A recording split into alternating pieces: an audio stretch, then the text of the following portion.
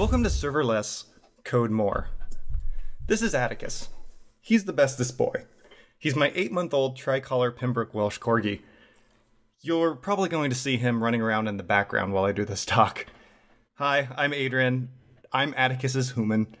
Uh, I'm also a developer advocate at Cockroach Labs. You can find me most places on the internet uh, Twitter, Instagram, Twitch, as It's Aydrian. And if you're interested in seeing more pictures of this guy, yeah, you, you can check out my Instagram. It's basically all it is now. Okay, we're gonna let you down. All right. So the term serverless has been overused. Let's take a minute to make sure we're on the same page. Serverless doesn't mean serverless. There are actually a lot of servers. But what serverless allows you to do is to deploy your apps and services without worrying about the infrastructure. It should really be called infrastructureless. But it's more of an out of sight, out of mind than a not at all. As the demand for your application increases, the serverless framework takes on spinning up new instances to meet the rising demand. And as that demand recedes, the framework will spin down no longer needed instances. Serverless is just a computing model that takes into account the following properties on demand and instant compute, instances that are dormant won't use compute, the task of scaling, planning, and configuring the infrastructure are handled for you, and you only pay for the compute you use. This frees developers to focus on application logic rather than the infrastructure. This serverless execution model has been picking up speed over the past five or so years. The top three clouds, Amazon, Google, and Azure, all have offerings to handle the serverless compute functions and app development. There are companies today that completely run on serverless. When I started working with serverless four years ago, it was a hard sell, but we're at an inflection point where more and more companies are turning to it. Now that we're on the same page, what about serverless data? This is where it gets interesting. Data complicates serverless. Today, you're responsible for determining the size and scale of your database up front. For a serverless database, you'd want these decisions to be made for you depending on your usage. The data should also exist as close to the user as possible, on the edge, if you will. So that way, your Sydney user can have the same experience as your New York user. And lastly, you want to be sure that the state of your data is preserved when your usage scales down to zero. This is what the team at Cockroach Labs had envisioned when creating CockroachDB. In many ways, CockroachDB was architected to be a serverless database from day one.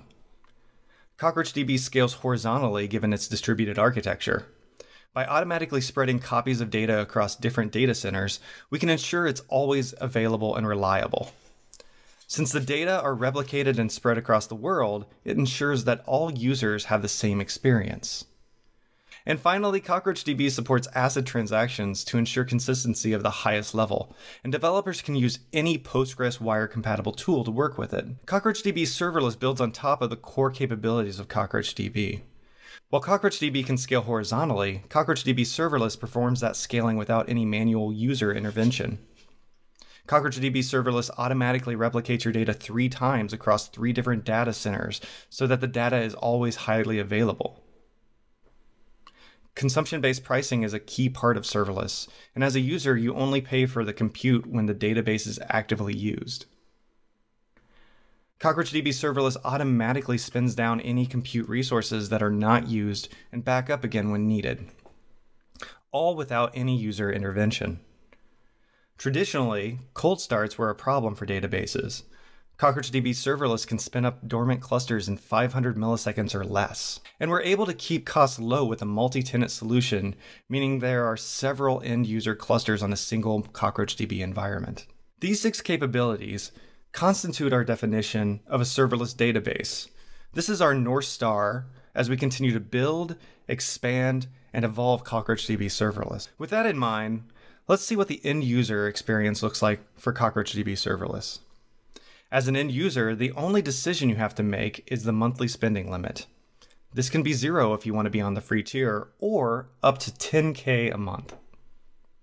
We take care of everything else, whether that's scaling based on your usage or ensuring data is replicated and highly available. We will never charge you more than your spend limit. That is our promise to you. If you want to kick the tires without any commitment, we offer a generous free tier. No credit card required. All clusters are free by default. The nice thing is that regardless of your spend limit, if your actual usage is within our free resource limit, you don't get charged. So, for example, if you have a $25 spend limit, but you use less than 5 gigabytes of storage and 250 million request units, then you won't be charged for that month. Now, if you do hit the upper limit of our free tier, you have two options. You can add a spend limit as low as a dollar a month, or you can continue using the database cluster, but your performance will be throttled. Because we want CockroachDB serverless to be as easy to use as possible for any developer, we've partnered with the Prisma team to build the Prisma CockroachDB connector. Support for the Prisma client and introspection will be coming soon with Prisma Migrate support to follow. If you're like me and want to start using the Prisma client now, you can connect using the Postgres Prisma connector. Let's take a look at using Prisma and CockroachDB serverless using the Prisma Postgres connector. Since CockroachDB is Postgres wire compatible and strives for Postgres SQL compatibility, developers can often take advantage of existing Postgres in- integrations with CockroachDB. This demo is interactive, so feel free to grab your phones and text your GitHub username to the following Twilio phone number. For my example, my GitHub is Aydrian, so I'd text Aydrian. Don't include the at symbol. I'll give you a moment to send your text.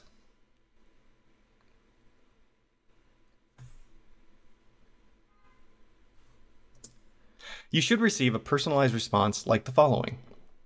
This application will accept a Twilio SMS, perform a GitHub user lookup using the API, and respond with a generated image. Let's take a look at the two Netlify functions that make up this application. And again, if you're still typing in the phone number, I'll give you a few seconds.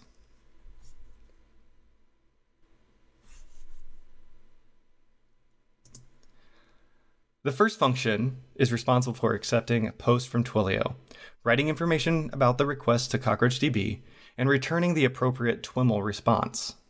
So we have Brittany here. Uh, I'm going to call her Brittany. She's got a ponytail. Uh, she sends the text of her, her GitHub username to Twilio. Twilio then posts it to my Netlify function. The first thing it's going to do is verify the signature. Now, this is a step that I recommend with any webhooks processing. So that way you're verifying that the request is coming from who you think it is. So we verify the signature. Uh, if it's not correct, we'll return a 422 uh, and, and stop functioning. If it is correct, correct, we'll use the Prisma client to write to co- our CockroachDB database. And then we'll return a TWIML response. So the TWIML response looks something like this but the media URL in the TWIML response will actually call our second netlify function. This function is responsible for querying the GitHub API and returning a generated image. So whenever we give the media part to the TWIML response, it will make a GET request to this URL. It will use the query string parameter of username to get GitHub user info from the GitHub API and then it will use that to generate the, the image. The image is created by using the Playwright API, which takes a screenshot of the React component that is rendered with the GitHub user info. Let's take a look at how we use the Postgres connector with CockroachDB serverless.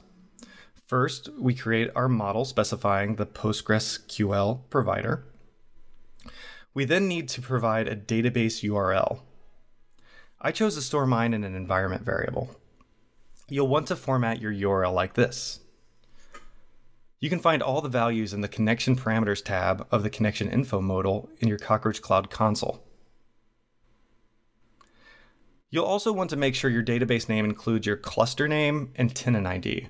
For example, mine is Courteous Corgi 744 and then we'll fill out some information about our message model. So I'm collecting the ID, the GitHub username, the SMS location, which is being stored as a JSON string, uh, the function that's used. For this case, it's a JavaScript function, and the date that the record was created on. One caveat until the CockroachDB Prisma connector is released and supports migration you'll have to create and modify your database tables manually. It's not fun, kids. But here I've created a SQL script to create the messages table for our message model. I can execute this using the SQL shell and the CockroachDB client. Now we can run the Prisma generate command and use the Prisma client in our serverless function. Here is the function responsible for accepting the post from Twilio and writing the request information to CockroachDB serverless. For each request, we insert a new message containing the GitHub username and location of the sender phone number to the database. Capturing the location of the phone number instead of the phone number itself allows us to store some interesting data without running into personal private information issues. I promise I'm not harvesting your phone numbers. It should be noted that if you acquired your cell phone number in one area and then moved to another, the location is associated with the phone number, not your actual location. So, for example, I live in Manhattan, but I got my phone number when I was living in Indianapolis. It starts with 317, so my location is always going to be recorded as Indianapolis, Indiana, instead of Manhattan, where I live. If you're interested in looking at the source for this application, you can find it in my GitHub repo. It includes the functions to generate the image and how to deploy the Prisma client using Netlify. Also, check out some of our other serverless resources. Thank you. And Atticus is asleep, but he says goodbye.